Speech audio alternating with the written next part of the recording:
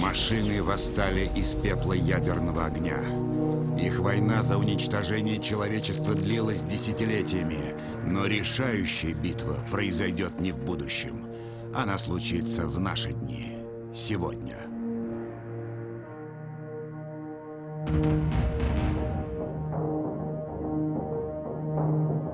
Арнольд Шварценеггер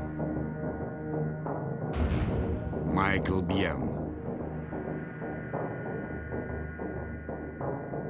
Линда Хэмилтон. Лэнс Хенриксон. И Пол Уинфилд в роли лейтенанта Трекслера. В ролях Рик Росович, Бесс Мота,